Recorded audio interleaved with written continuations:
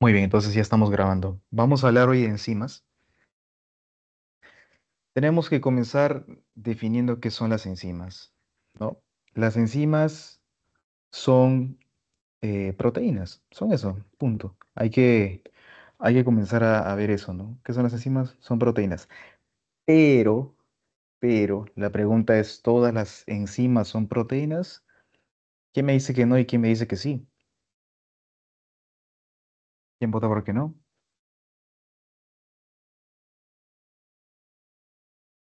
¿Alguien apoya el no? ¿Alguien apoya el sí?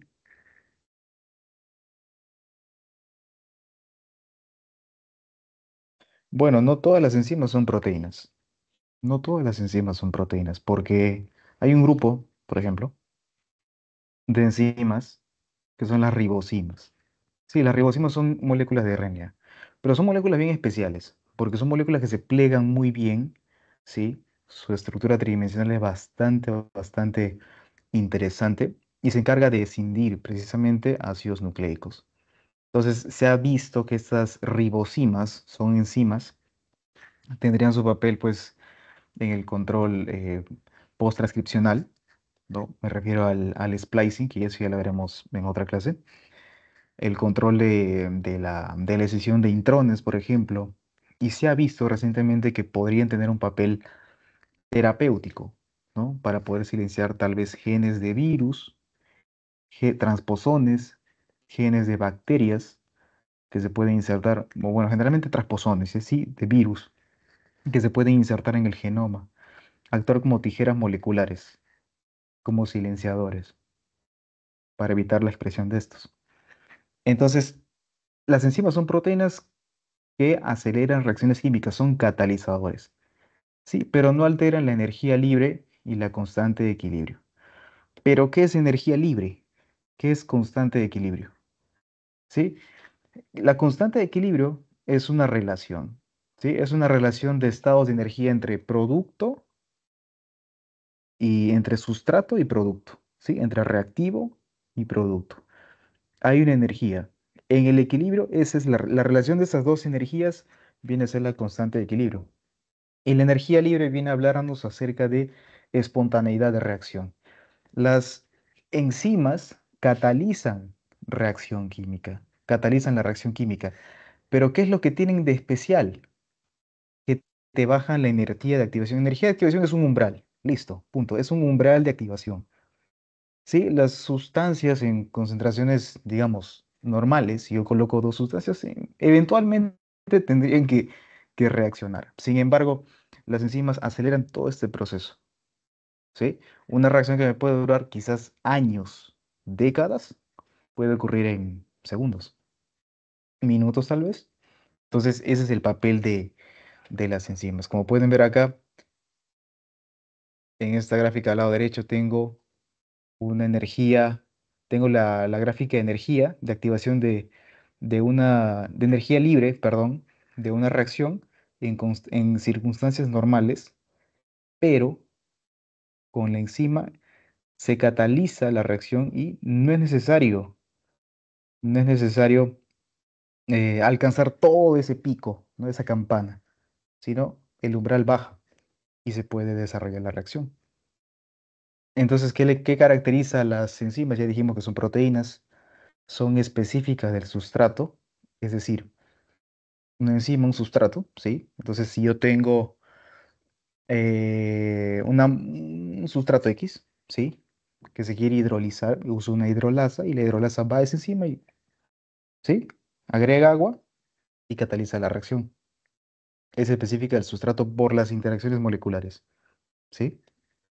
Entonces, cataliza reacciones para un sustrato específico, un grupo reducido de sustratos, claro. Sin embargo, aquí he de señalar que las enzimas no se agrupan, ¿sí? No se agrupan por el tipo de sustrato, ¿sí? Hay que entender bien eso, porque si agrupáramos las enzimas solo por el sustrato, tendríamos una lista de cuánto, no sé, millones de enzimas, ¿sí? Entonces, eh, las agrupamos por el tipo de reacción que, hacen. Entonces, eh, dijimos, ok, no alteran la energía libre, no modifican la constante de equilibrio, solo bajan el umbral, bajan la energía de activación, ya está. y no se generan o consumen en las reacciones. Aquí hay que hacer una, una, una, no, no hay que confundirlos cuando hablemos después de sustrato este, suicida, sustrato suicida, o cuando es que, cuando hablamos de, una, de, un sustrato que se fija una enzima, ¿sí? Y ambos aparentemente se neutralizan. No, eh, en realidad siempre va a haber una disociación, ¿sí? Siempre va a haber una disociación. Eso quiere decir que se fija el sustrato a la enzima, se inhibe o se genera un producto, ¿sí? Pero luego la enzima queda, la enzima queda. Eh, las enzimas son pH y temperatura dependiente, por supuesto. Lo vamos a tratar más adelante. ¿Por qué? Ya veremos. Dentro de la estructura puntual, la poenzima y cofactor, o la enzima. ¿sí? La poenzima es la estructura proteína, proteínica como tal. ¿sí? Es esa cadena de aminoácidos, listo, que forma, es el esqueleto de la enzima. Pero hay enzimas que necesitan un cofactor. Un cofactor, trabajamos, como el buen cristiano, es un, es un ayudante. ¿sí? Es un ayudante que me va a ayudar, que valga la redundancia, a darle a la enzima la actividad catalítica que le corresponde. Entonces, este cofactor puede ser inorgánico como puede ser orgánico. ¿Sí? En el caso de los cofactores orgánicos, ¿sí? pueden, ser los, pueden ser dos, coenzimas y grupos prostéticos. Dentro de las coenzimas vamos a ver las, la familia de la vitamina B12, por ejemplo. ¿sí? Y dentro de los cofactores inorgánicos, los metales. Ahora, los metales pueden ser cofactores que me estabilicen la estructura de la proteína de la enzima, ¿sí? Ayudándola a catalizar una reacción, o pueden ser metales, ¿sí? Que me inhiban completamente una enzima. Entonces, continuando, la especificidad depende de qué? De los grupos funcionales de la enzima. Claro, de qué tipo de, la secuencia de aminoácidos que tenga eh, la proteína, ¿no? ¿Qué interacciones o bueno, qué proteínas van a estar ahí fijadas a la espera del sustrato para que éste se acople y pueda catalizarlo. De los grupos funcionales, este, del sustrato también, ¿no? Si el enzima, depende de los dos, ¿no? O sea, la estructura de la enzima y la del sustrato. Los cofactores para las enzimas que lo requieran, ya dijimos, y la proximidad física de estos grupos funcionales, las interacciones moleculares. ¿Sí? Entonces tienen una enzima, un sustrato, un lugar de fijación, un sitio activo, un sitio catalítico, el sustrato se fija ¿sí? Se acopla la enzima y catálisis. Bien, vamos a ver la clasificación de las enzimas. Eh, esta es la clasificación I6, de esta forma, ¿no? Las oxidorreductasas, que son enzimas que catalizan eh, reacciones redox, ¿sí? Reacciones redox, es decir, te pueden dar, te pueden dar eh, pueden transferir eh, electrones, ¿no? En este caso, las oxidorreductasas pueden ser varias, pueden ser las reductasas como tal, ¿no? Las deshidrogenasas, las oxidasas, las peroxidasas, las monooxigenasas, las dioxigenasas, etc. Reacciones redox.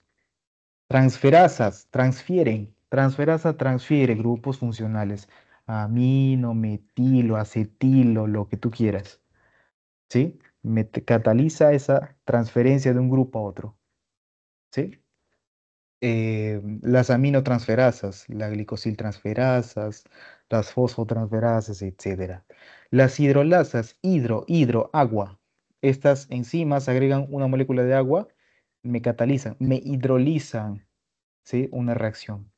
Usan agua, como pueden ver acá. Tenemos a las isomerasas. Isomerasa, isómero. Listo, ustedes saben que las proteínas pueden tener, pueden tener sus isómeros, ¿no? Dependiendo de la, de la, de la estructura, ¿no? Depende de la, de la disposición de la, de la proteína. Entonces, estas enzimas se encargan de eso, ¿no? De cambiar la estructura, ¿no? O bueno, darle otra, otra, otro componente, otra, eh, digamos, otra perspectiva llamémoslo así, a la enzima en su isómero. Y tenemos las liasas, me olvidaba de las liasas. Las liasas son enzimas que te rompen enlaces químicos, vamos a hablar así. Las liasas te catalizan, ¿sí? Me cinden enlaces químicos, pero no me meten agua, No es necesario que me metan grupo, grupos, otros grupos de otras moléculas, ¿no? Sino más bien estas simplemente forman enlaces covalentes entre diversas moléculas de, de- de la, de la- del sustrato mismo, ¿sí? Forman enlaces covalentes y me pueden transformar eh, este reactivo en, en un determinado producto. Las ligasas, eso lo habrán visto en, en, en biología, seguramente. Las ligasas son enzimas que se encargan de sintetizar, ¿no?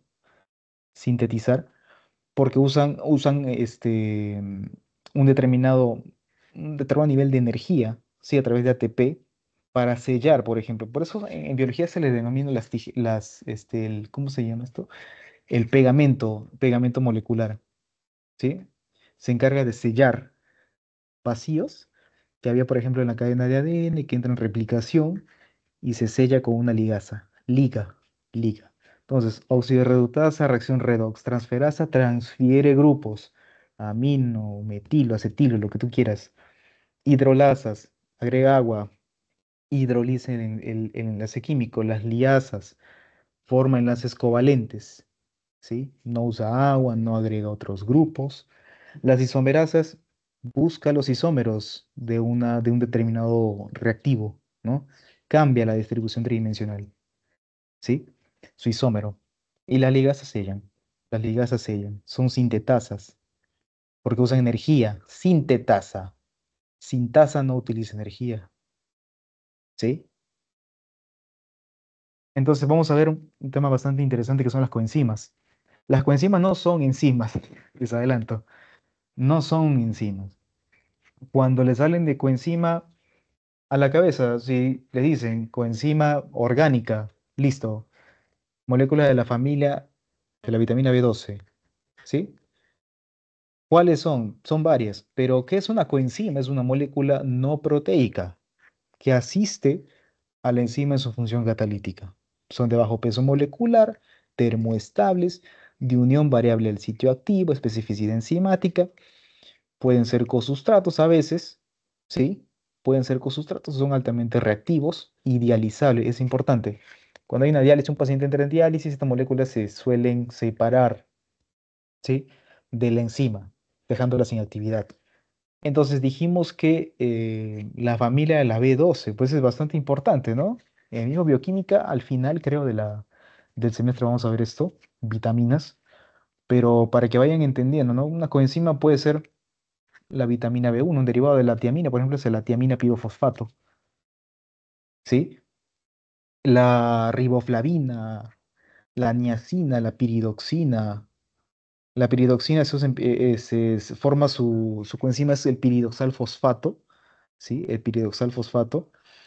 En el caso de la tiamina, por ejemplo, es una enzima que, que es de mucha importancia cuando tengo un paciente que tenga sobredosis por alcohol, intoxicación alcohólica, ¿sí? Intoxicación alcohólica. Entonces, por ejemplo, cuando tienes un paciente así, tú le dosas glucosa para ver cómo está el azúcar, pero también tienes que agregar tiamina tiamina para que se convierta en su coenzima tiamina pirofosfato y me evite desarrollar dos tipos de, de, de encefalopatías, ¿sí? Una encefalopatía de Wernicke y la otra, no me acuerdo el nombre, pero es como la hermanita de Wernicke, ¿sí? Y son potencialmente mortales, potencialmente mortales en el caso de, de pacientes que vienen con intoxicación alcohólica. Cada una de estas proteínas y cada una de sus coenzimas tiene una función específica. Tenemos para el, ácido fólico el tetrahidrofolato. Eh, Este es bastante importante, bastante importante en embriología, bastante importante cuando hablemos de desarrollo, porque estas en- e- esta, esta coenzima participa en la síntesis, ¿sí? En la síntesis de nucleótidos, en el metabolismo, de hecho, Entonces, este, Si tienes un paciente con deficiencia de ácido fólico, por eso a, a las pacientes gestantes nunca se les dice que no deben tomar ácido fólico, tienen que tomar ácido fólico porque es importante para la embriogénesis, ¿sí? Para la formación de, o bueno, para facilitar el desarrollo celular.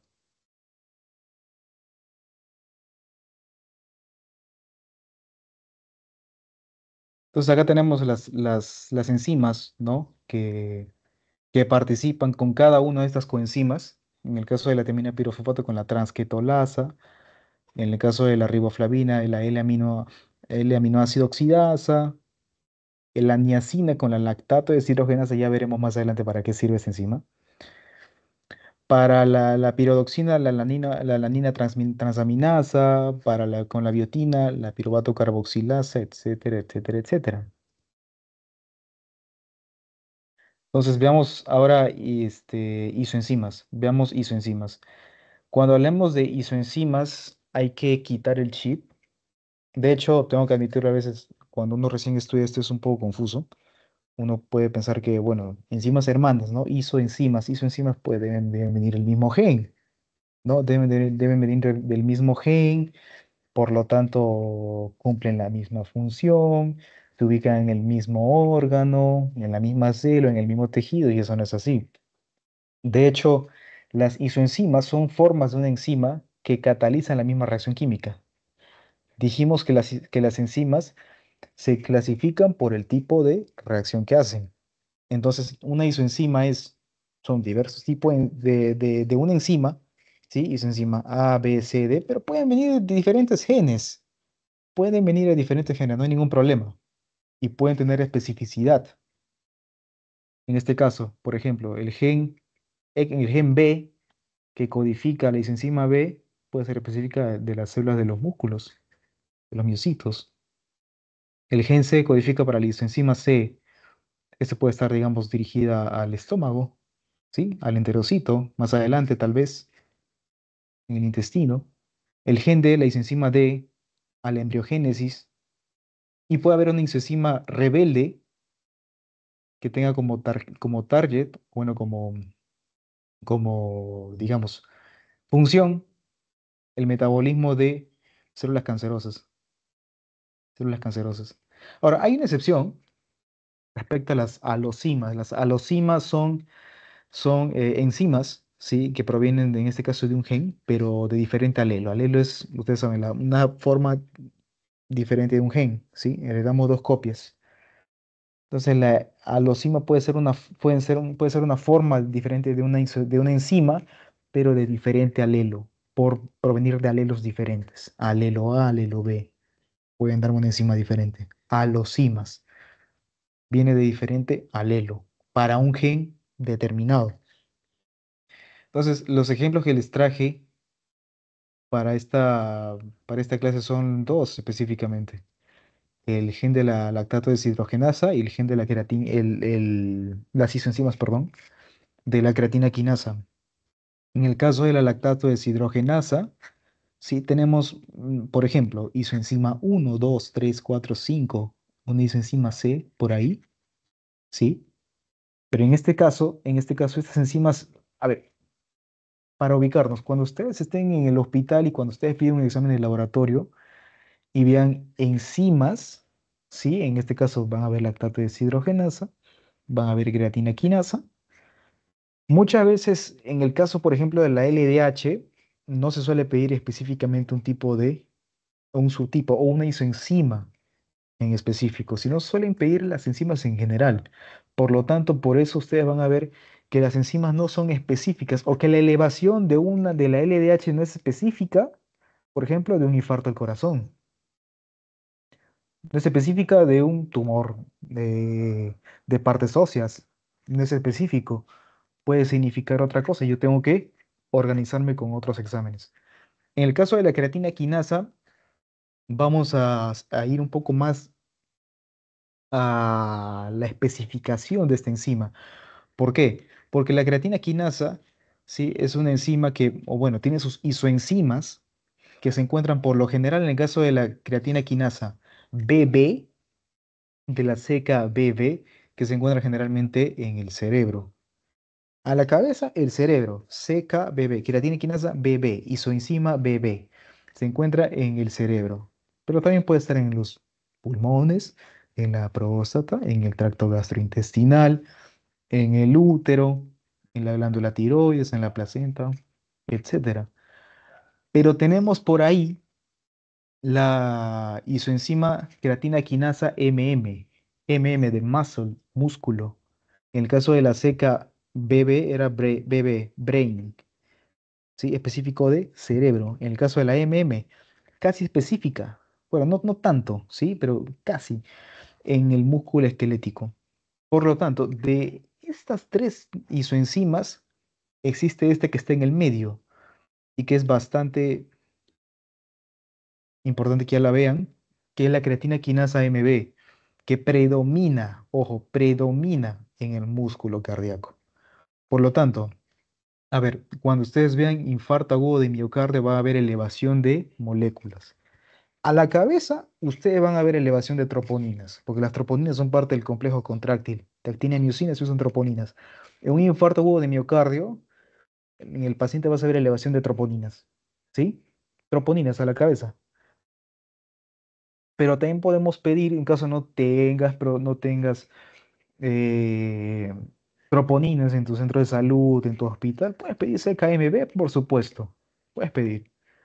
¿Sí? Si tienes clínica, has hecho tu examen físico de emergencia y pides creatina quinasa MB, que está elevado, listo.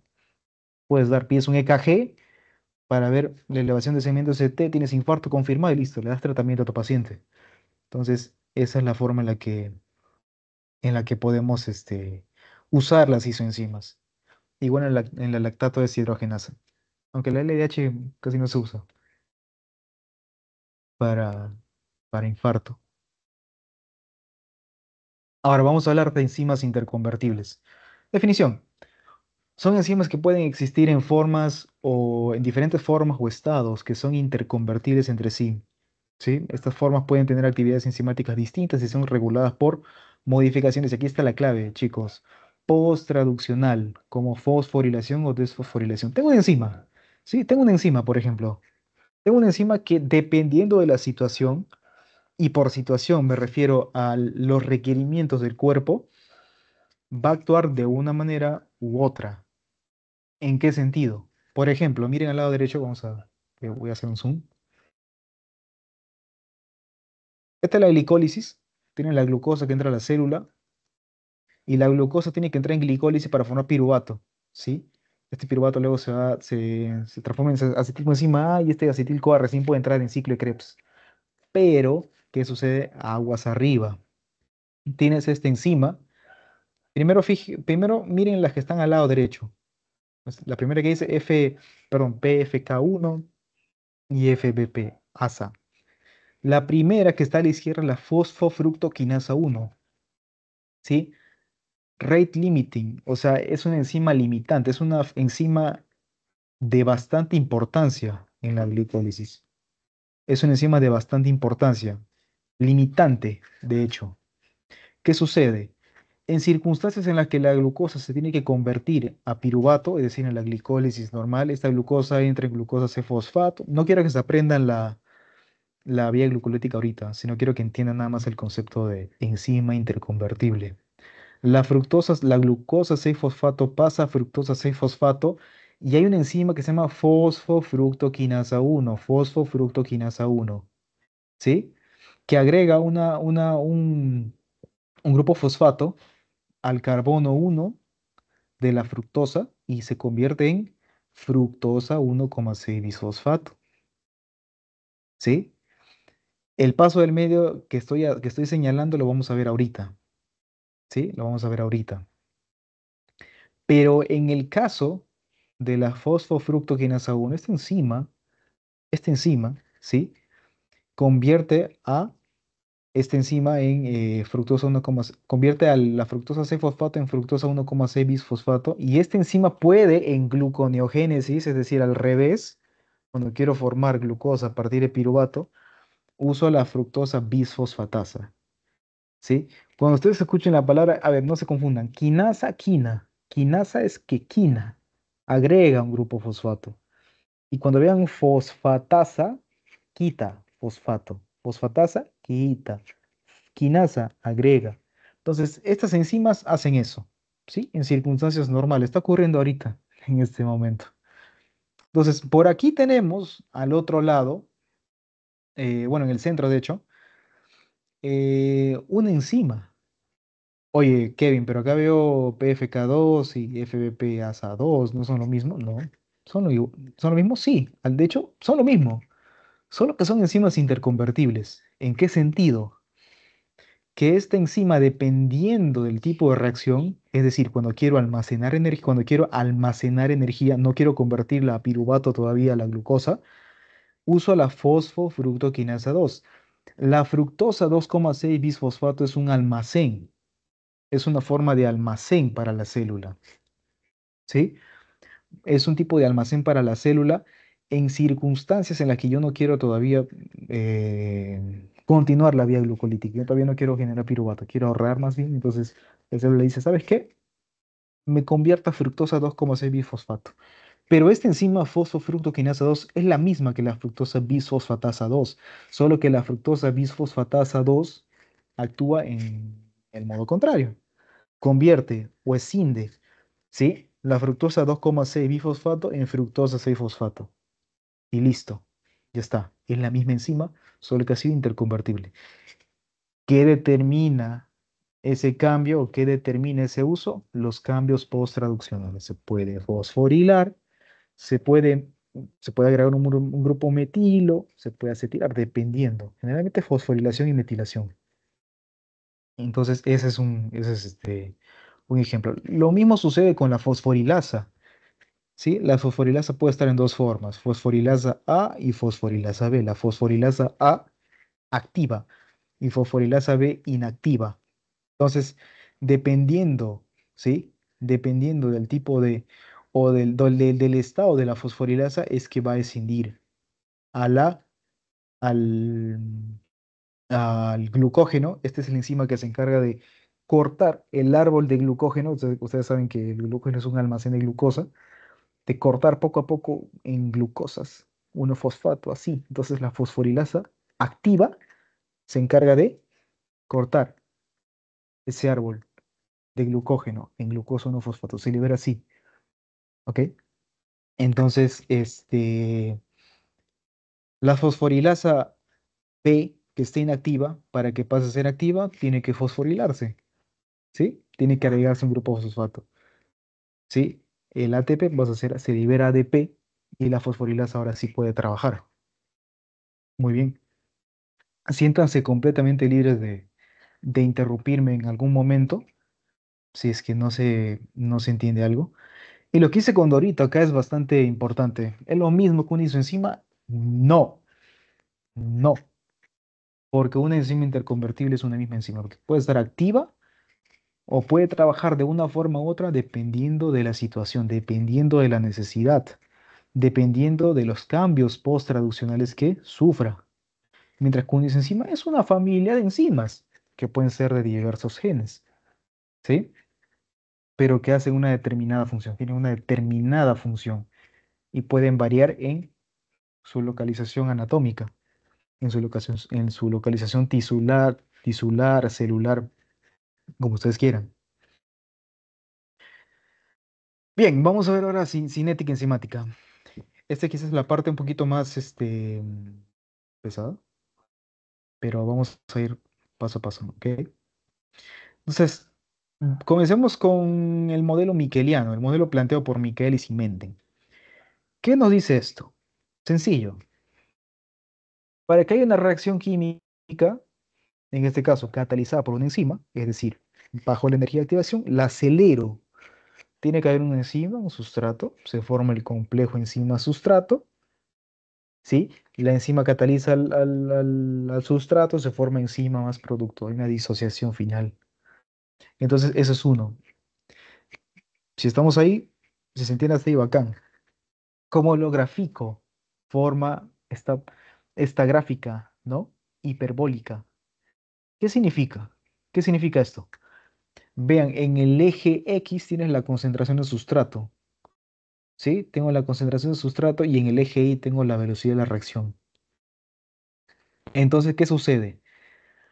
A concentraciones bajas, ¿sí? A concentraciones bajas de sustrato, es decir, guíense el mouse.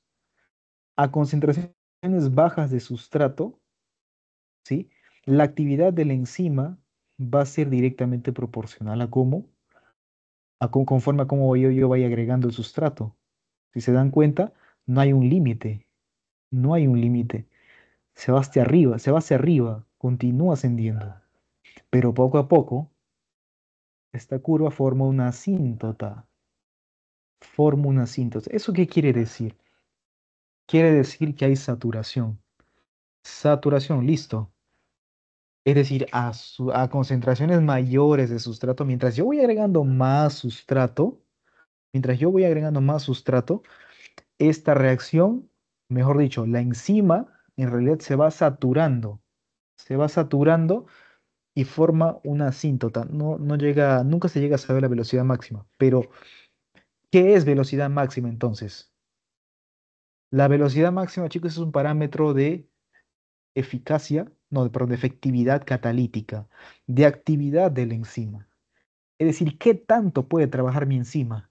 Esa es la velocidad máxima, ¿sí? ¿Qué tanto puede trabajar la enzima?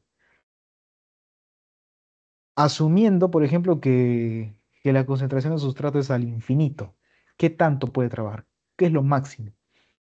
Por otro lado, la constante de Michaelis, o la Km, fíjense acá, es la concentración de sustrato, fíjense, la concentración de sustrato a la cual se alcanza la velocidad máxima.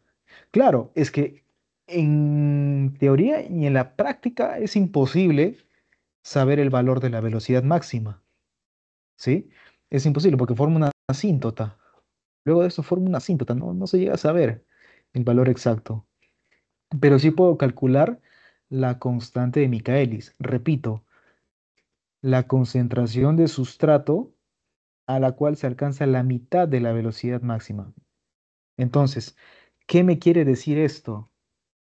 La constante de Michaelis no es más que una, que una, que una unidad de, eh, de evaluación de afinidad de la enzima con el sustrato. ¿Qué tanto el sustrato puede fijarse a la enzima? Práctico. Cuando yo tenga, ¿sí? una reacción con una constante de Michaelis baja, es decir, imagínense que la Km se encuentra aquí, casi al inicio, ¿no? Muy temprano en la curva.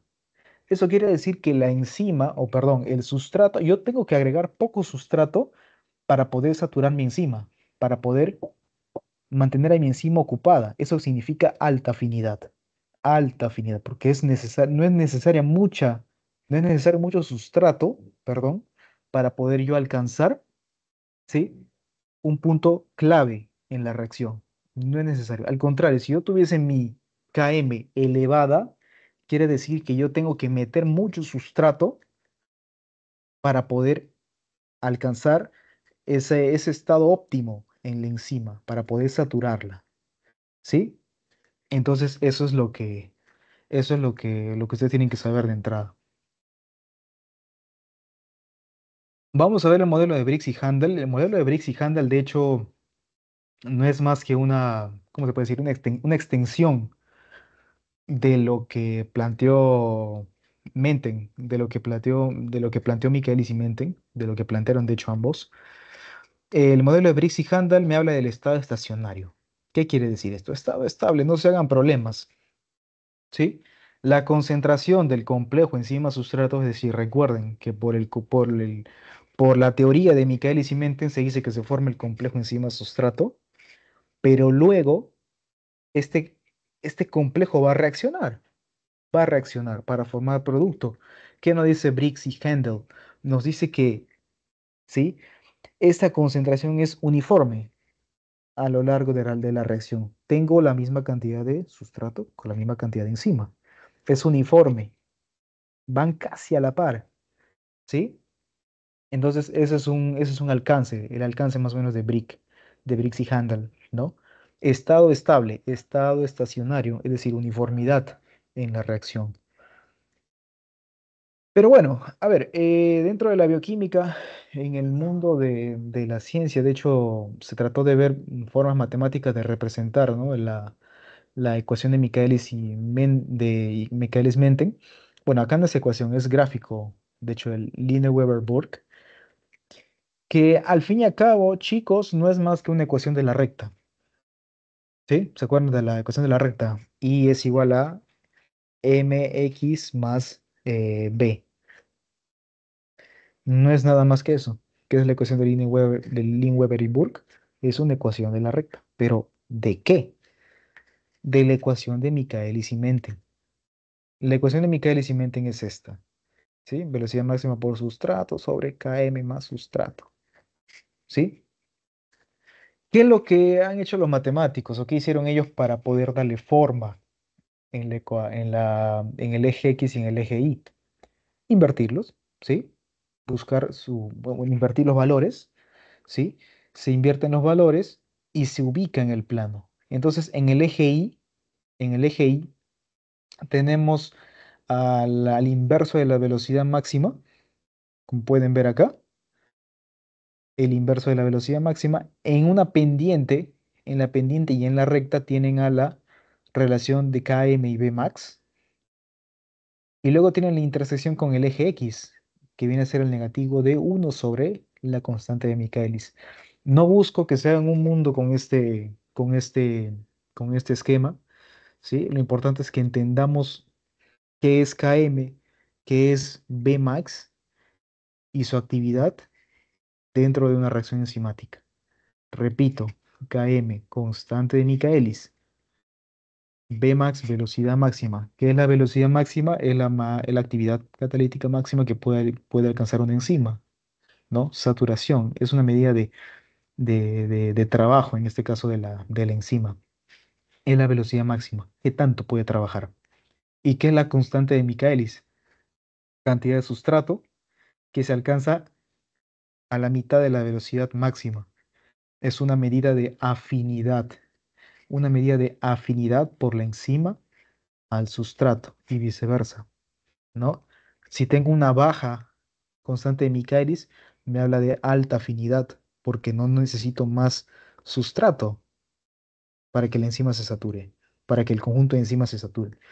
Si el Km es elevado, necesito bastante. Entonces vamos a hablar de inhibición enzimática. La, inhibición enzimática es el proceso por el cual una molécula, en este caso un inhibidor, que dice acá, disminuye o anula la actividad en enzima. Correcto. Entonces, la inhibición enzimática ustedes la van a ver en todos lados. ¿Sí? La van a ver en fármacos, la van a ver en medicina interna, la van a ver en todos lados. Lo importante aquí es que sepamos qué tipos de inhibición hay. Repito, esto lo van a ver en fármaco bastante cuando hay un tipo de, de inhibición. ¿Sí? hay sustancias que inhiben competitiva o no competitivamente a otras. ¿Sí? Hay dos tipos de inhibición. Comencemos. La inhibición reversible y la inhibición irreversible. La inhibición irreversible la vamos a ver en el siguiente, en el siguiente slide. No quiero que se hagan problemas con eso porque son dos. ¿sí? Esto quizás acá lo más importante que, que debemos saber. La inhibición reversible. La inhibición reversible hay de tres tipos división competitiva, no competitiva y acompetitiva. La inhibición competitiva, ¿qué me quiere decir? Puntual, compite. Tengo la enzima, tengo el sustrato, tengo un inhibidor, ¿no? Que puede ser un, un fármaco. Entonces, el sustrato y el inhibidor van a competir por el sitio de unión en la enzima. ¿Sí? Entonces, se puede unir el sustrato, se puede unir el inhibidor, van a competir ambos por ese sitio de unión. Punto. En la inhibición no competitiva, fíjense que en la enzima hay otro lugar ¿sí? de fijación. Hay otro lugar. El sustrato, el sustrato se va a fijar a la enzima, sí, se puede fijar. Se puede fijar. No tiene otro rival otro al otro costado, ¿no? El inhibidor en este caso, que puede ser un fármaco, no se va a fijar en ese lugar. ¿Sí? Se fija otro lugar. Se fija otro lugar. Entonces, no hay alteración en ese sentido, pero sí se va a inhibir ese, se, va a inhibir la actividad enzimática. Es un inhibidor no competitivo, listo, porque se fija en otro lugar, un sitio alostérico, en la enzima. Se va por el patio trasero, busca un atajo. ¿Sí? Ahora, la inhibición acompetitiva. Acompetitiva. Aquí quiero que ustedes se imaginen una enzima indiferente. Una enzima indiferente a la que, ¿saben qué? Eh, perdón, un inhibidor indiferente. ¿Sí? Un inhibidor indiferente, ¿en qué sentido? En que le da igual, le da igual que el sustrato se fije a la enzima. Este, al contrario, va a facilitar que esa unión se desarrolle. Entonces, el sustrato se fija a la enzima y tengo un inhibidor acompetitivo. ¿Qué quiere decir acompetitivo? Este inhibidor solo se fija a ese complejo una vez formado, nada más. ¿Me entienden? Entonces, dejo que se forme el complejo enzima sustrato y luego viene el inhibidor acompetitivo y sella, es como que no les deja salir a los dos. Por lo tanto, la reacción se interrumpe acá. Eh, ni siquiera comienza, de hecho, ¿no? Inhibición competitiva. Repetimos, inhibición competitiva, inhibidor compite con el sustrato por el sitio activo de la enzima. Listo, inhibición no competitiva. El inhibidor busca otro sitio. Y la enzima le da otro sitio en su estructura química para poder inhibirla. La inhibición competitiva. Al inhibidor le da igual. Al inhibidor le da, le da igual que, que se forme el complejo enzima sustrato. Al contrario, facilita que se, que se forme, ¿no? Y una vez que ya se han juntado los dos, clac, de cierro. Y permito, o bueno, inhibo la, la reacción química. ¿Qué es lo importante acá? Y muy probablemente vaya, venga para su examen. Estos parámetros que hay que ver acá. ¿Cómo, o bueno, cómo es que los tipos de inhibición son representados dentro de la cinética de Michaelis-Menten en la, con el gráfico de Linnir, Weber y Borg? Eh, vamos comenzando con el tipo de inhibición competitiva. Recordemos, en la inhibición no competitiva tiene sustrato y tienes inhibidor que compite por el sitio de la enzima para inhibir.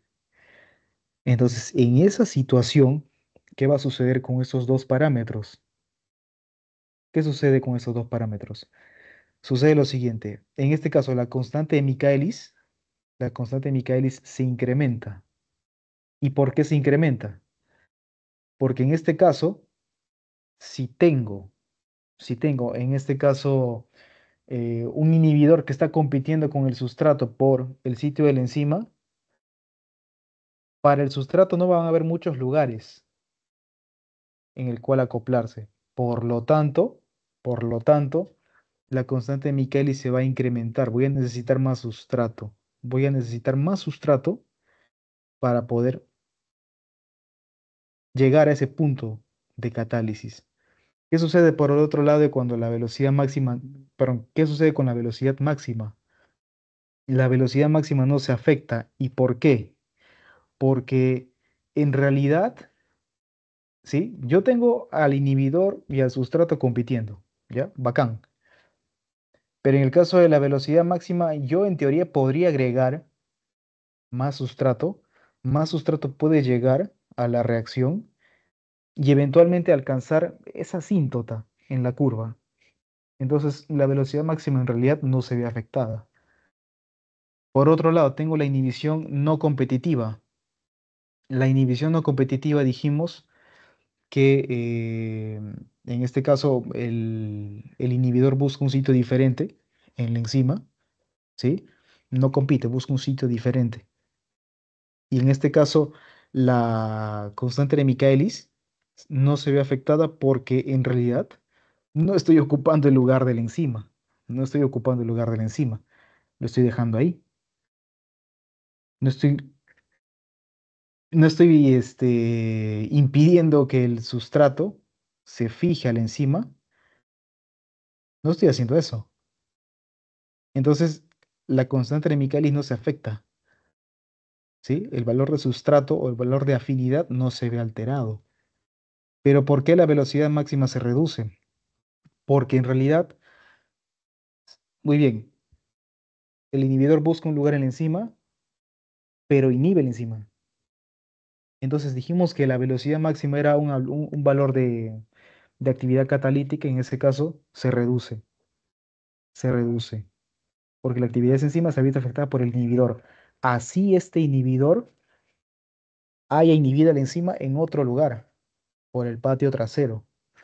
Ahora, la inhibición acompetitiva. La inhibición acompetitiva, en este caso tenemos la constante de Michaelis reducida la velocidad máxima también. ¿Qué pasa aquí?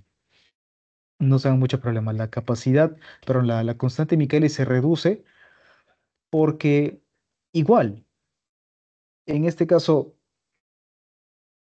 les dije que el inhibidor, el inhibidor, al inhibidor le da igual, le da igual, ¿sí? Que la enzima y el sustrato se unan. Le da igual. Lo que sucede aquí es que, al contrario, se facilita la unión. Se facilita la unión de estos dos. Y por lo tanto, la constante Michaelis disminuye. Es decir, al ser facilitada la unión de la enzima y el sustrato, la constante Michaelis baja. Necesito menos sustrato para alcanzar la saturación de la enzima. Pero la velocidad máxima se reduce porque al final, después de todo, estoy inhibiendo la enzima y por lo tanto afectando su actividad catalítica. Va a disminuir.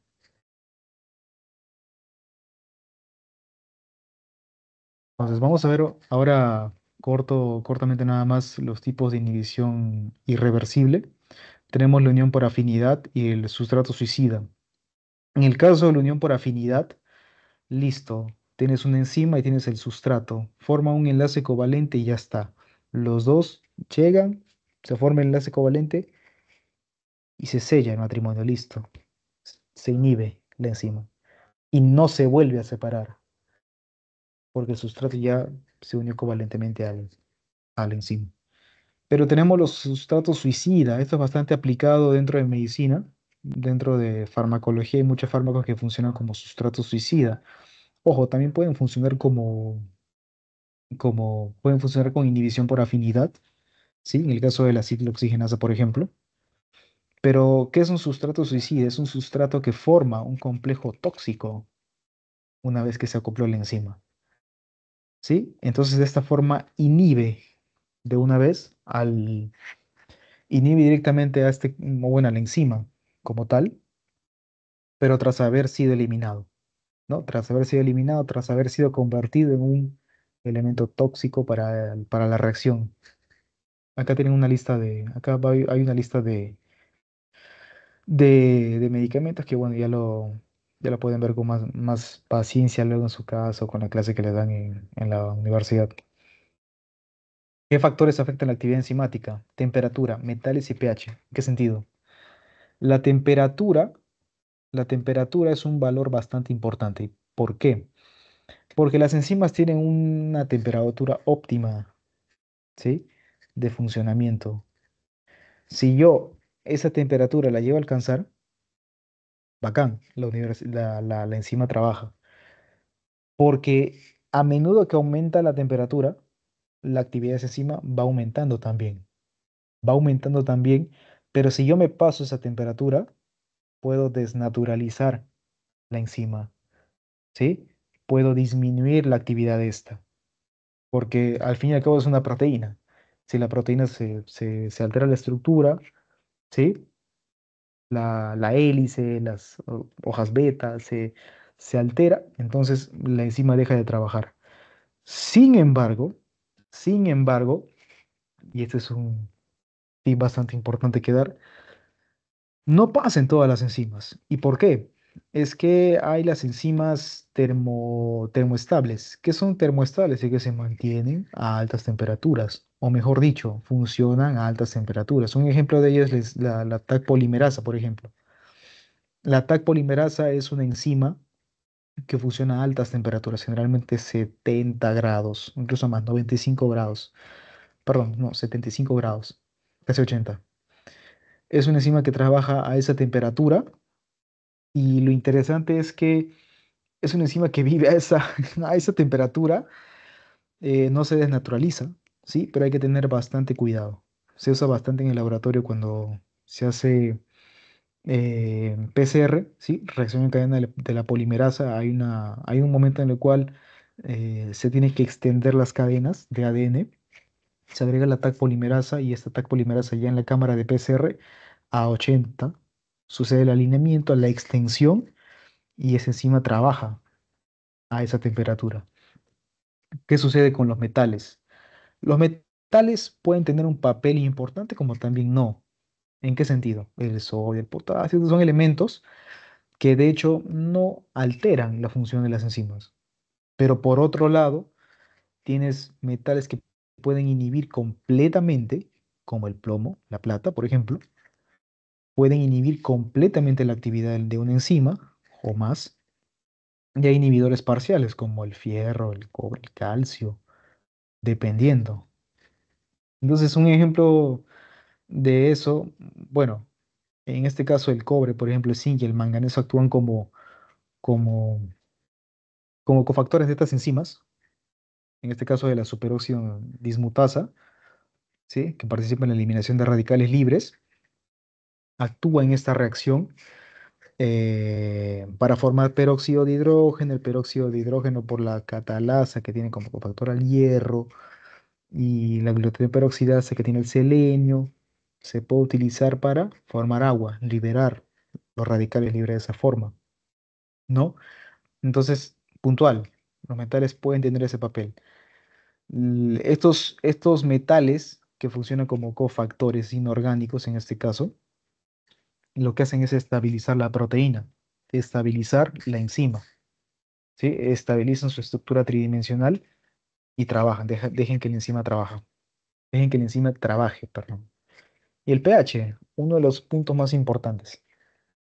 Hay un pH óptimo, ¿sí? Hay un pH óptimo. Este pH óptimo puede ser ácido, puede ser alcalino, sí, pero va a depender de la enzima, va a depender de a qué pH trabaje la enzima. Va a depender completamente de eso. Hay enzimas que pueden trabajar a pH ácido, otras a pH alcalino. Entonces es importante que nosotros sepamos eso para poder respetar, mejor dicho, el medio en el cual una enzima puede trabajar. ¿No? Eso es importante para mantener la, estructura tridimensional, para interactuar con el sustrato, para ser responsable de la catálisis, ¿no? Puntual, no, no, nos hagamos más problemas con eso. Entonces veamos las enzimas alostéricas. Enzimas alostéricas es bastante interesante. Vamos a ver la hipótesis de Monod. La hipótesis de Monod nos habla de una manera bien didáctica de las formas en las, que, en las cuales las enzimas pueden estar en una reacción. Él nos dice que hay una forma tensa y una forma relajada. ¿Sí? Una forma TT y una forma RR. Una forma RR que tiene afinidad por el sustrato y una forma TT que no tiene afinidad por el sustrato. Acuérdense de eso. DT tenso. R relax, relajado. Al estar más relajado, los sitios de unión al sustrato se aperturan. En el caso de una proteína tensa, de una enzima tensa, esto no se ve favorecido. Entonces, ¿qué nos dice la hipótesis de Monod? Que la forma, una enzima pasa por estos estados al contacto con el sustrato. Pasa de una forma TT una forma tensa, una forma RR que ya tiene afinidad por el sustrato y luego se forma el complejo enzima-sustrato, una vez que tengo la forma RR. ¿Qué nos dice el modelo secuencial de Kochland? El modelo secuencial de Kochland nos dice precisamente eso, que hay una secuencia. ¿Cuál es esa secuencia? Tengo la enzima en estado TT. TT, es decir, no hay afinidad por el sustrato.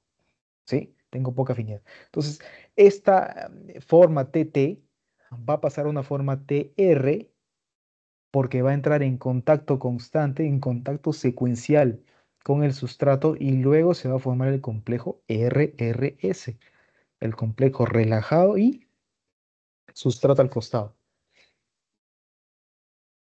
Esas son las diferencias que hay que ver en, el modelo eh, en las hipótesis de Monod y Kochland. De nuevo, Monod, forma TT, forma R, tengo el sustrato ahí, el sustrato pasa directamente de una forma TT, el, enzima, perdón, de una forma TT a una forma RR y se forma luego el complejo enzima-sustrato. En la hipótesis del modelo secuencial de Kochland, forma TT, Luego esa enzima entra en contacto con el sustrato, hay interacción entre estos dos y pasa a una forma relajada.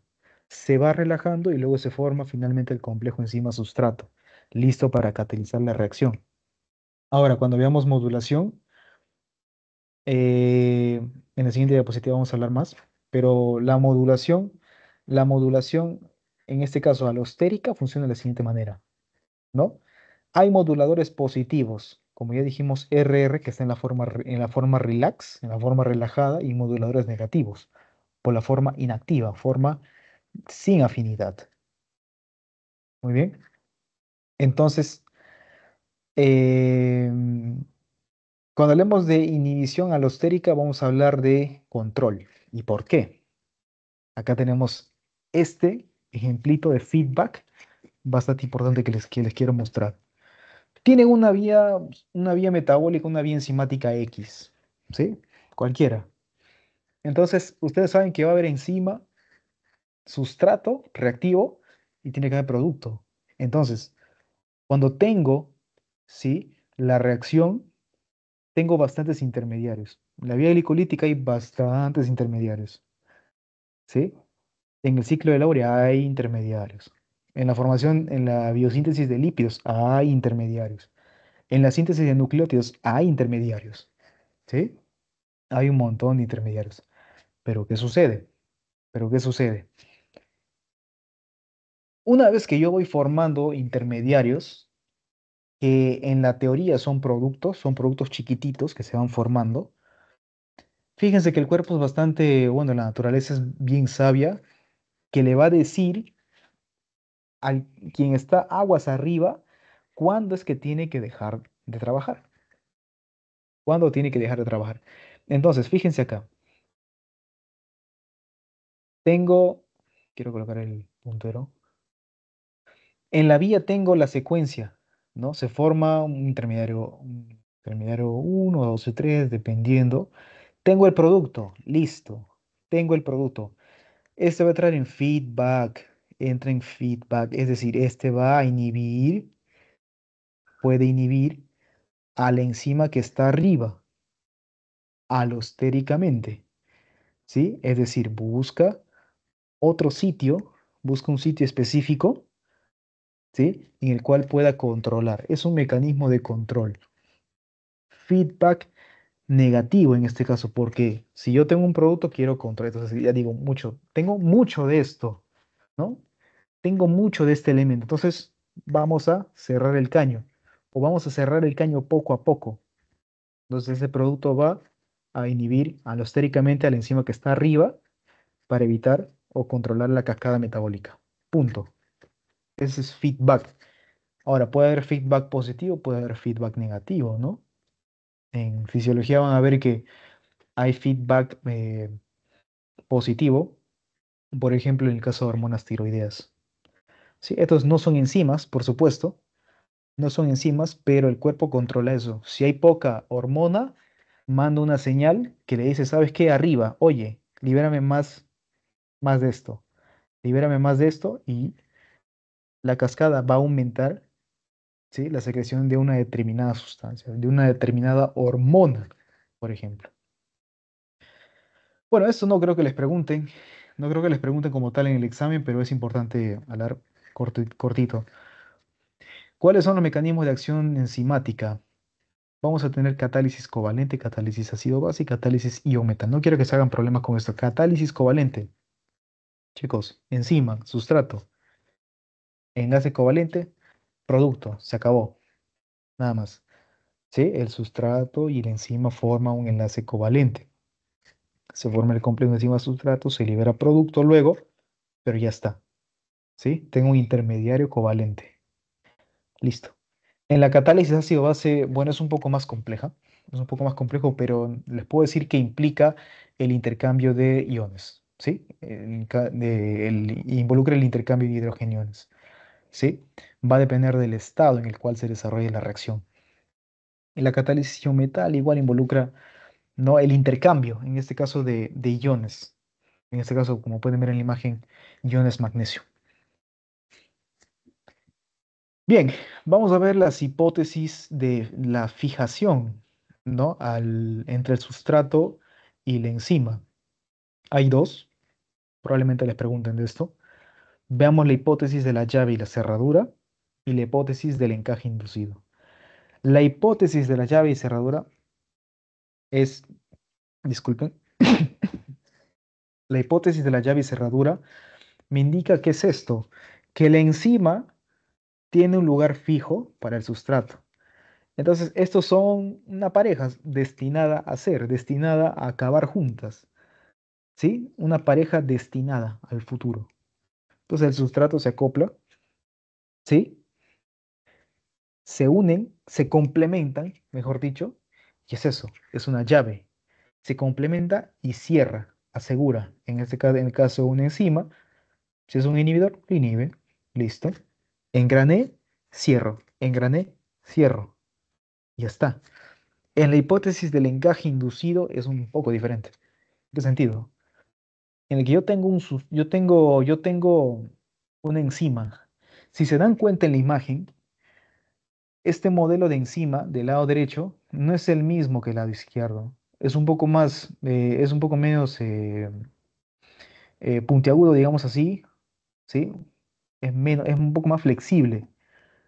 En ese caso, esto me quiere decir que el sustrato va a tener que ver cómo se acomoda a la enzima. Una vez que el sustrato se fija a la enzima, que está prediseñada, digamos así, para poder acoplar al sustrato, una vez que estos dos se unen, se hace un cambio estructural en la enzima, bueno, y al final en el complejo, para que estas dos engranen. Porque si no el sustrato, imagínense, siendo acá bastante puntiagudo, se mete, pero van a haber espacios, ¿no? Van a haber espacios. Eso sucede en realidad. Por lo tanto, el complejo, la enzima, tiene que ver la forma de cambiar de forma y poder acoplarse al sustrato.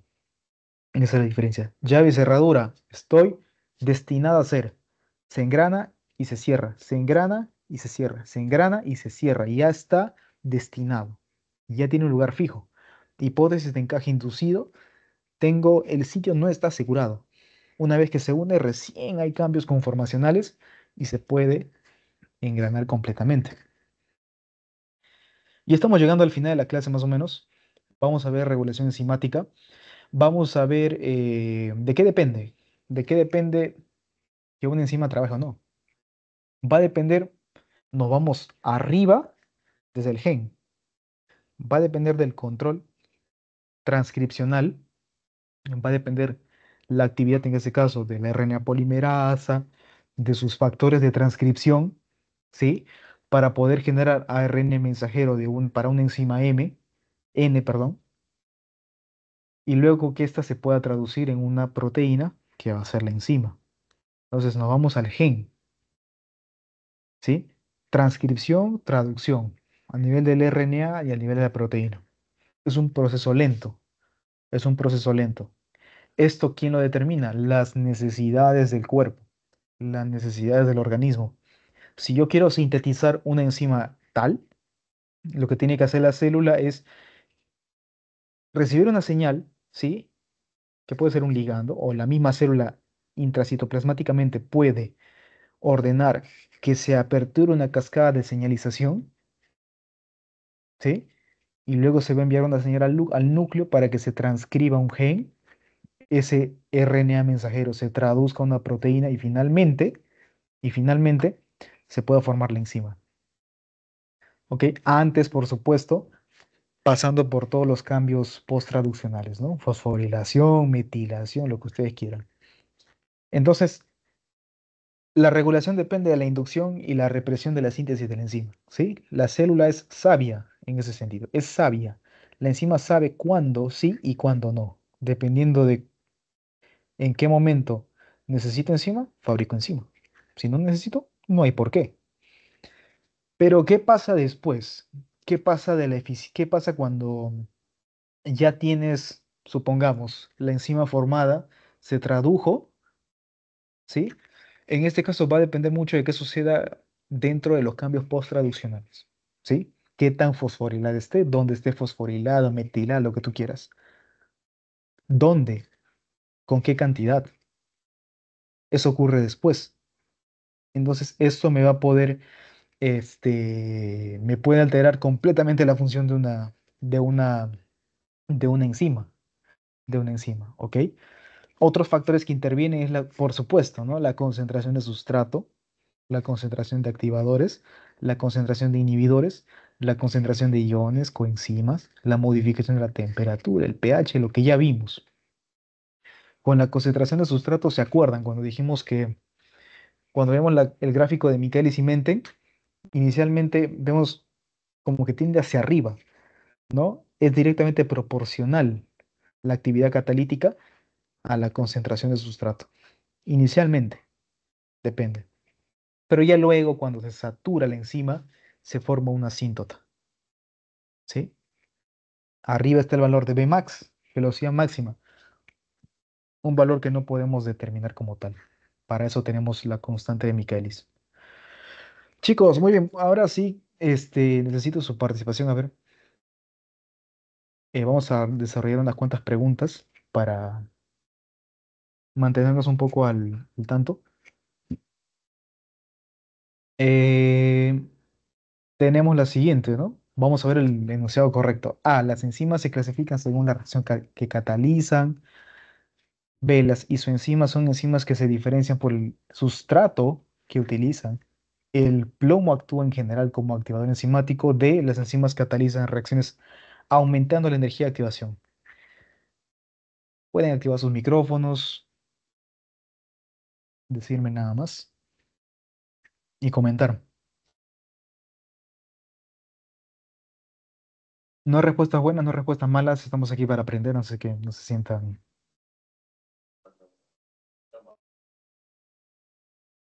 ¿Cómo dijiste, Octavio? Pero no te escuché. Ah, tengo entendido, o sea, según lo que la, las enzimas se clasifican según la reacción que están catalizando. Excelente. justo también mi compañera lo escribió, Andrea creo lo escribió antes. Ah, sí, que este, no, no estaba viendo el chat. No, no puedo ver el chat aquí, de hecho. No importa. Excelente, chicos. Excelente, excelente. Eh, es según la reacción que catalizan, ¿sí? Porque si se, si se clasificaran según el sustrato, pues tendríamos una lista infinita. Las demás, pues no, no tienen nada que ver. El plomo actúa como activador enzimático. No, pues es un inhibidor. Inhibidor completo. Las enzimas catalizan las reacciones aumentando la energía de activación. Falso. Lo disminuye. Baja la energía de activación. Las isoenzimas son enzimas que se diferencian por el sustrato. No, pues. Las isoenzimas son enzimas de diferentes genes, pero que entran. Dos, la inhibición competitiva. ¿Qué sucede? Que el KM no se modifica, se forma el complejo enzima sustrato en todos los eventos, disminuye el KM, la velocidad máxima no se modifica.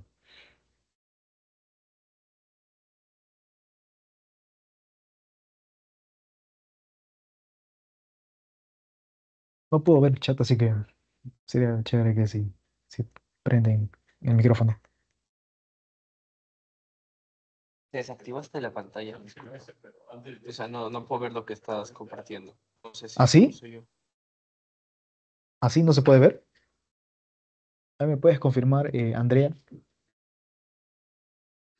En, en, mi caso sí se ve. Y me parece que es la D, que la velocidad máxima no se modificaría. Ah, perdón, el frío. Eh, sí, excelente, excelente, bacán.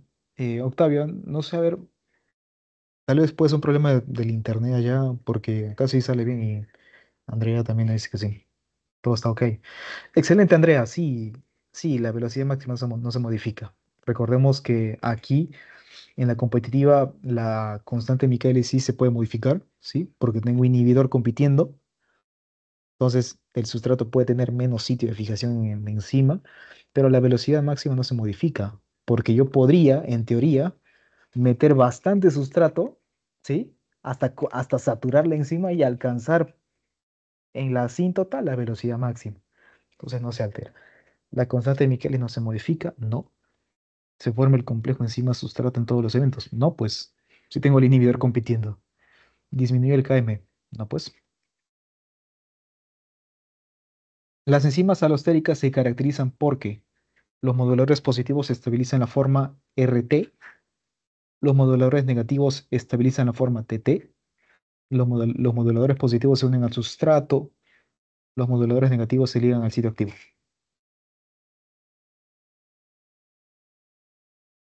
Vamos, chicos. Me parece que es la B. Los moduladores negativos se ligan en el sitio activo. Mm, ¿Por qué? No, no, no, la B de bueno. excelente, excelente. Excelente. Eh, sí, sí, de hecho sí es la, correcta porque recordemos que los moduladores negativos, bueno, hay dos formas, ¿no? Hay dos formas, TT y RR. TT, tense, RR, relax.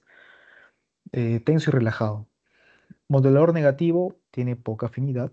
¿sí? El modulador negativo tiene poca afinidad por sustrato. Por lo tanto, estabiliza la forma que no está activa, forma TT. Y los moduladores positivos estabilizan la forma RT. No, pues estabilizan la forma RR. Eh, RR.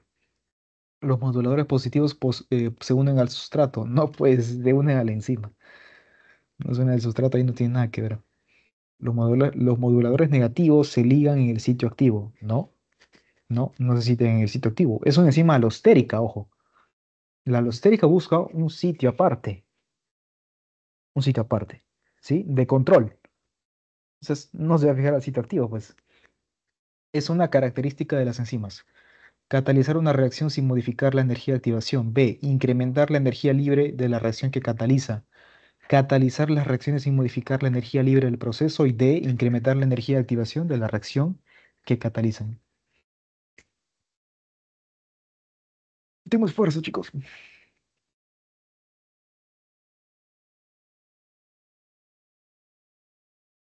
¿Sería la C?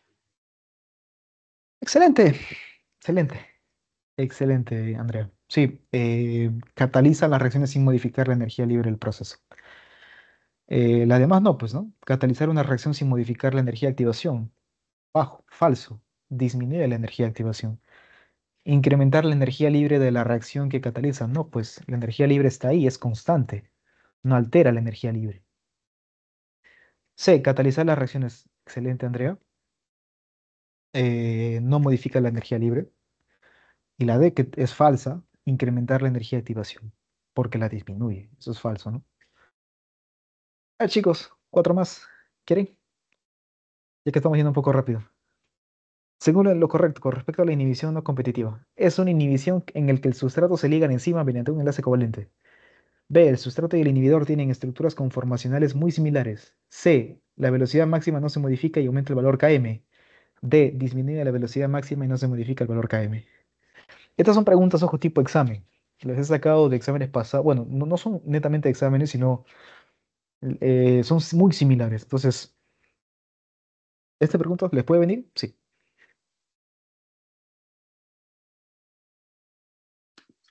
La D de dedo. D de dedo. A ver, disminuye la velocidad máxima y no se modifica el valor de km. Ok. Em, dijimos, ¿no? Si es una inhibición no competitiva, la no competitiva en este caso, el, el, el valor Km es constante, ¿no? Está bien, está bien porque el valor Km se mantiene constante. Tengo una inhibición que es no competitiva. El inhibidor está por ahí, puede fijarse o no, pero no compite, no le roba, no le roba el sitio. Entonces la afinidad es es, este, es constante. ¿Pero la velocidad máxima se modifica? Sí, disminuye. ¿Por qué? Porque así no esté compitiendo, así no esté compitiendo, el inhibidor inactiva el complejo enzima sustrato. Y la velocidad máxima, es decir, la actividad catalítica disminuye. Señala el enunciado correcto. Las enzimas se clasifican de acuerdo al sustrato que utilizan. La concentración de enzima en una célula se regula por inducción o represión. En el pH óptimo, la enzima, la enzima y el sustrato tienen la misma carga eléctrica D. Las coenzimas deben ligarse al sitio alostérico negativo de las enzimas.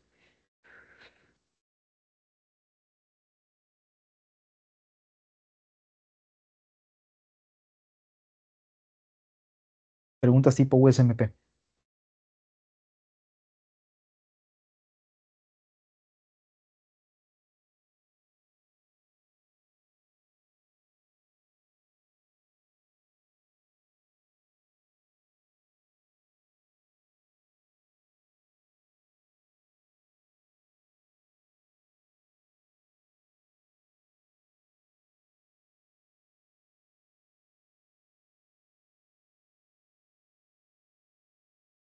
¿Alguien tiene algo o, yo puedo retroalimentar?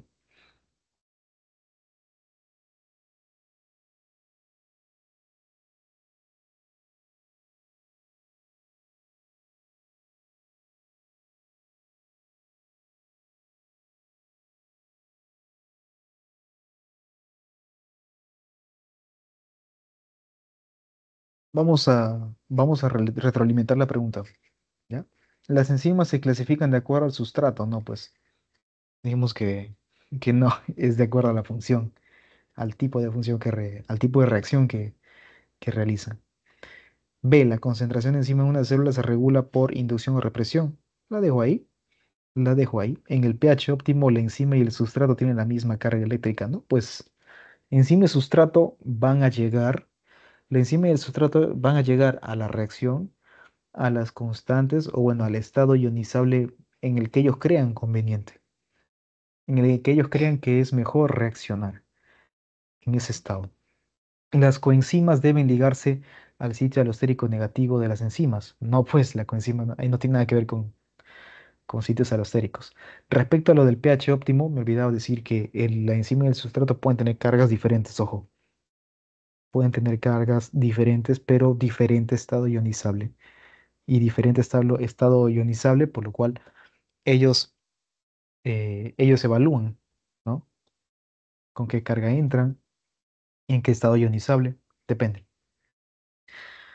Eh, y lo que hablamos al final de la clase, ¿no? La, la, enzima y el sustrato tienen, perdón, la concentración de enzima en una célula se regula por inducción o represión, por supuesto. Arriba, gen, ARN mensajero, proteína, cambio post-traduccional. ¿Sí? La célula tiene necesidades, induce o reprime. Tenemos acá, el valor Km depende de la concentración de la enzima. Las coenzimas son enzimas con baja actividad catalítica. El valor de la velocidad máxima depende de la concentración de enzima. Las isoenzimas son enzimas que catalizan reacciones completamente diferentes. ¿Alguien que que algo, algo?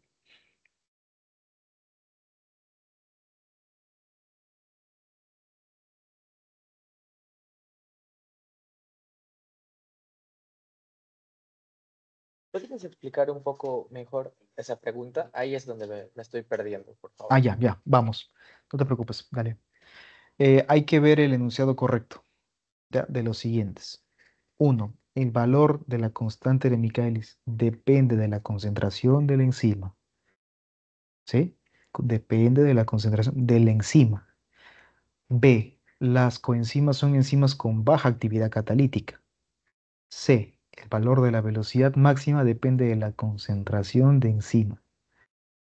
D. Las isoenzimas son enzimas que catalizan reacciones completamente diferentes. Hay que ver cuáles son, cuáles son las, este, cuál es, cuál es el enunciado correcto.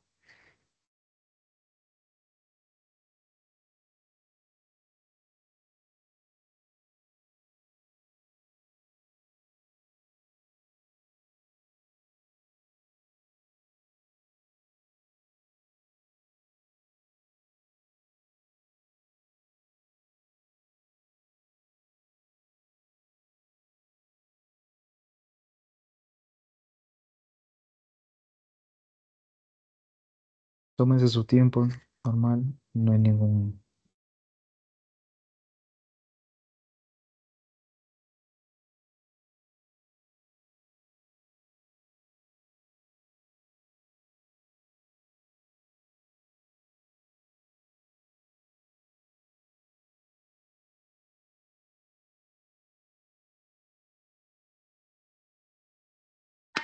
En, en mi caso como que no estoy muy segura, pero creo que me voy por la C. A ver, el valor de la velocidad máxima depende de la concentración de Esa es una pregunta trampa. Una pregunta trampa. Vamos por lo que es menos probable. ¿Sí? De menos a más. Dice, las isoenzimas son enzimas que catalizan reacciones completamente diferentes. Creo que estamos de acuerdo en que esa es falsa, ¿no? Porque son, son enzimas que participan en un grupo específico de reacciones, ¿no? Se agrupan así solo que hay diferentes subtipos dependiendo del, lugar, este, de la, de la ubicación tisular, celular, lo que ustedes quieran, ¿no? De eso va a variar. Eh, ¿qué más? Las coenzimas son enzimas con baja actividad catalítica. Bueno, esta, está, esta está regalada, ¿no? Las coenzimas no son enzimas. Un ratito. Estoy recibiendo un mensaje de, de app.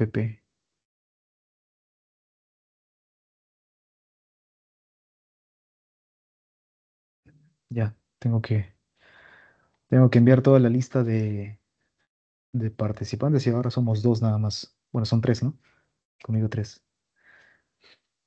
Uh, les recuerdo, a ver, no, creo que eso no les había dicho por, por el chat, pero con tres faltas ya les, bueno, el programa pide que les saque del, les saque del, del grupo.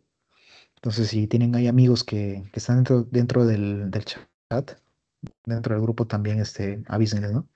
Para que no pierdan mucho y se les pueda sacar. Bien, eh, lo que decías, Andrea, sí, de hecho, las, dijimos que las coenzimas son enzimas con baja actividad catalítica. Falso, pues, esta está regalada. El valor Km depende de la concentración de la enzima. No, pues es, una, es una medida de afinidad. Mientras yo meta más sustrato, puedo ir viendo cómo es que la afinidad va, va, sí, va, va subiendo, va bajando, dependiendo, ¿no? Depende. Puedo tener un KM alto con baja afinidad, un KM bajo con altísima afinidad. La respuesta correcta es la C, efectivamente, Andrea. El valor de la Bmax depende de la concentración de enzima. ¿Sí? Aquí sí, porque realmente meto más encima, voy saturando más ese grupo encima. Voy saturando más. Va a depender de la cantidad de enzima que tenga. ¿Qué propiedad se cumple en una reacción enzimática a altas concentraciones de sustrato? Ahí es sustrato. Igual chicos, tómense su tiempo. Revisen uno por uno.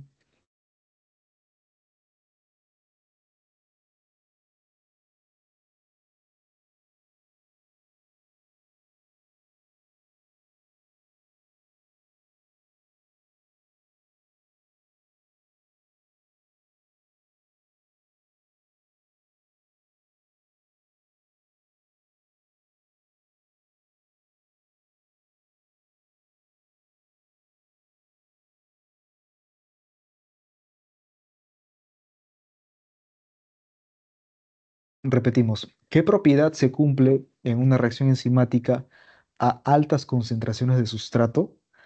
Sí, tengo bastante sustrato. Tengo bastante sustrato. Entonces, A, la enzima se encuentra en forma inactiva debido a la alta concentración de sustrato. B, existe una alta probabilidad de encontrar enzima libre. C, la velocidad de reacción es independiente de la concentración de sustrato. D, la velocidad de reacción es directamente proporcional a la, a la concentración de sustrato.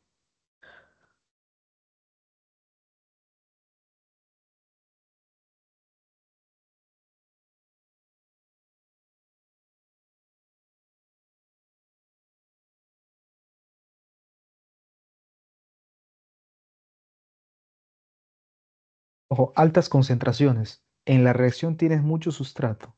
Supongamos, si hablo de números, tengo 5 enzimas y tengo 30, 50 sustratos. ¿Qué va a suceder? La enzima se va a inactivar. La enzima, vamos a encontrar enzimas libres, si solo hay 5. C, la velocidad de la reacción es independiente de la concentración de sustrato. Aquí les digo, imaginen que tienen en su gráfico la curva de Michaelis-Menten. ¿No? La curva, que para llegar a la velocidad máxima, ven cómo se, ¿Ven cómo se va aplanando? Eso que era así, eso que era recto, se va aplanando. Y D, la velocidad de reacción es directamente proporcional a la concentración del sustrato. Bien, la alternativa correcta es la C. Es la C. ¿Por qué? Recordemos que como les dije, en la reacción al inicio, es decir, cuando yo tengo cantidades pequeñas, cantidades pequeñas de sustrato, ¿sí? Cuando yo voy agregando sustrato inicialmente a la reacción, la relación es directamente proporcional. ¿sí? Aumento sustrato, aumento de la velocidad de reacción porque voy ocupando más enzimas. Pero hay un punto, hay un punto en el cual se satura el sistema, se satura la cantidad de enzimas y se forma, y se va aplanando la curva, se va aplanando. Se aplana porque la enzima ya se saturó. La enzima, así tú le metas a esas cinco enzimas, si yo le meto 100, 200 sustratos, ya no va a trabajar. Ya no va a trabajar más porque está saturada está saturada. Entonces, en ese momento la velocidad es independiente, se mantiene ahí, se mantiene ahí. Pese a que yo meta más sustrato, se mantiene, es independiente. ¿Sí? ¿En qué caso la velocidad de reacción es directamente proporcional? Cuando la concentración de sustrato es baja, porque tienes esa curva, o bueno, esa recta que se va así, ¿no? Hacia arriba. Más sustrato, más velocidad de reacción. Pero si tengo muchísimo sustrato, ya saturé la enzima. Ya saturé la enzima y así yo le meta mucho sustrato, ya no va a poder, ya no va a poder trabajar más. Porque está ahí. Y bueno, chicos, ya eso es más o menos lo que, lo que hay que, hay que ver. ¿Tienen alguna pregunta? Porque aquí les traigo dos preguntitas tipo, bueno, vamos a trabajar estas. Si gustan, son preguntas tipo step one. Más o menos les comento. Para este ciclo yo los quiero entrenar de dos formas. La primera es que ustedes estén listos para el examen, ¿sí? A la cabeza. Pero si se, dan cuenta, las preguntas generalmente estudiadas son así, son puntuales o son demasiado técnicas, ¿no? KM, Bmax, lo cual no está mal, lo cual no está mal. Son preguntas netamente de la, de la actividad, netamente, ¿no? De, en la teoría, lo que pasa. Pero si les pongo estas preguntas, por ejemplo, vamos a hacer unita, ¿ya? Unita, unita, unita, unita. Y con esta terminamos. Bueno, eran cuatro, pero ya sí, les voy a pasar luego, sí, si quieren, para que, para que la vean. Un hombre de 56 años acude al servicio de urgencias con dolor torácico severo y opresivo que comenzó hace cuatro horas. Tiene antecedentes de hipertensión y diabetes tipo 2. El electrocardiograma muestra elevación del segmento ST que es un parámetro electrocardiográfico, ¿sí?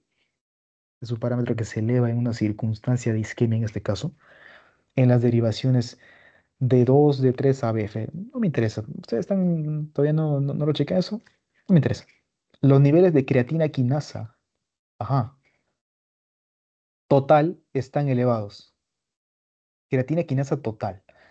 ¿Cuál de las siguientes afirmaciones es la más precisa para confirmar un diagnóstico de infarto agudo de miocardio? La creatina quinasa BB es el marcador más específico para el diagnóstico de infarto agudo de miocardio. B. Los niveles elevados de creatina quinasa MM son más específicos que los niveles de CKMB para el diagnóstico de infarto agudo de miocardio. C. La CKMB es una isoenzima más específica que la creatina quinasa total para diagnosticar un infarto agudo de miocardio. Y D, las troponinas cardíacas son menos específicas que la creatina quinasa para el diagnóstico de infarto agudo de miocardio. ¿Quién me dice cuál es la respuesta?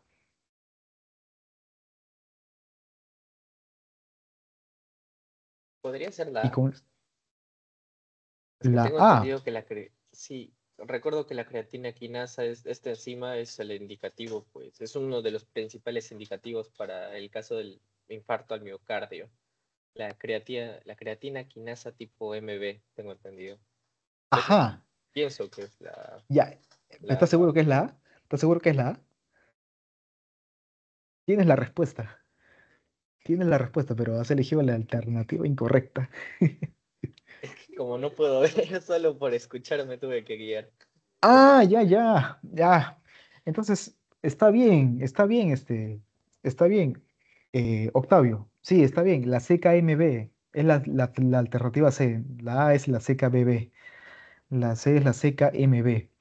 Esa es la más específica, recuerden. La CKBB es específica de cerebro, brain. Cuando hay dos B, CKBB, brain, cerebro. Casi no me va a arrojar resultados para infarto agudo, pues. CKMM, CKMM, dos veces MM, muscle, músculo. ¿Ok? Muscle, músculo. Pero ¿qué tipo de músculo? Ustedes me dirán, ok, el corazón también es un músculo. Hay miocitos. Pero la CKMM es mucho más específica del músculo esquelético. Por lo cual, ¿en qué situaciones se me puede elevar más la CKMM cuando hay rhabdomiólisis, por ejemplo? La rhabdomiólisis, muerte muscular, ahí liberamos creatina quinasa MM. Cuando hay muerte muscular de tejido esquelético, ¿sí? De músculo esquelético. Pero la CKMB, la CKMB combina los dos, MB, M de muscle, B de brain, pero en realidad lo que quiero, a lo que, lo que lo que lleguen es que la CKMB es más específica de corazón. Es la enzima más específica dentro de este grupo. ¿Sí? Dentro de este grupo. Oye, pero acá menciona las troponinas. Menciona las troponinas. ¿Qué me dice las troponinas? Son menos específicas que la CKMB. Falso, pues. Miren, dentro de la pirámide, dentro de, no, no es pirámide, dentro de la curva de liberación de enzimas cuando hay un infarto, eso lo van a ver en el hospital, lo pueden preguntar al médico. La, primera proteína que se eleva es la mioglobina. La primera que se eleva es la mioglobina. Pero un detalle, la mioglobina es muy inespecífica. Es muy inespecífica, se puede elevar por muchas cosas. Por rhabdomiólisis, deshidratación, se, puede elevar, se te puede elevar también por infarto, pero es muy inespecífica. Es muy inespecífica. Por lo tanto, la mioglobina queda a un costado, queda de lado cuando, hacemos, eh, cuando queremos hacer laboratorio de infarto agudo. Luego comienza a elevarse que las luego tenemos a las troponinas. ¿Sí? A la cabeza las troponinas. Dosamos troponina, troponina I, por ejemplo, porque hay rotura, ha habido rotura de los miocitos cardíacos y se ha liberado troponina. También tenemos la CKMB que se eleva ahí, pero tiene un poquito de menos de especificidad que, que la troponina. Por lo tanto, preferimos troponina en lugar de CKMB. Pero si no tengo troponinas en mi centro de salud, en mi hospital, pido CKMB. Puedo pedir CKMB, no hay ningún problema. Y me voy guiando. Tip, y con eso termino. Para infarto agudo de miocardio, tienes un paciente que te llega diaforético, que te llega, que te puede llegar sudando, se llama diaforesis. Diaforesis es sudoración profusa. Tienes un paciente con dolor precordial, dolor detrás del pecho, dolor precordial de tipo opresivo y muy frecuentemente el dolor se irradia hacia la mandíbula izquierda y al brazo izquierdo, al borde cubital, al borde cubital del brazo izquierdo. Es un dolor que se irradia a este lado, al borde cubital, a la mandíbula dolor opresivo, sensación de muerte, el paciente dice que ya me voy a morir, tú le tomas un EKG y tiene elevación del ST. Tiene signos de infarto. Muy bien, eso es un tema que ustedes lo van a ver más adelante, pero eso solamente es un tip. Muy bien, chicos. Eh, díganme si tienen alguna pregunta. Podemos retroceder de una vez a, las diapositivas que, tal vez han quedado un poco, un poco invasivo, o tal vez se entendió. Confírmeme, porfa. Creo que estamos en hora. Sí, estamos en hora. Si está todo ok, podemos terminar. Si no, yo vuelvo y les explico. No hay ningún problema. La, finalidad es eso. Duda. Dime. Este, en caso de la grabación, cuándo se subiría? Para poder repasar claramente. Ajá, ya, entre hoy y mañana, máximo, eso sí. El grupo de APP me dice que puedes mandarle en una semana, pero yo le quiero mandar hoy o mañana, más seguro mañana. Entonces, todo claro. Muchas gracias. Gracias a ti, Octavio, por, por participar. Andrea, ¿está todo claro? sí, sí, todo claro. Gracias, más bien. Ya, ok. Gracias a ustedes. Cuídense. Hasta luego.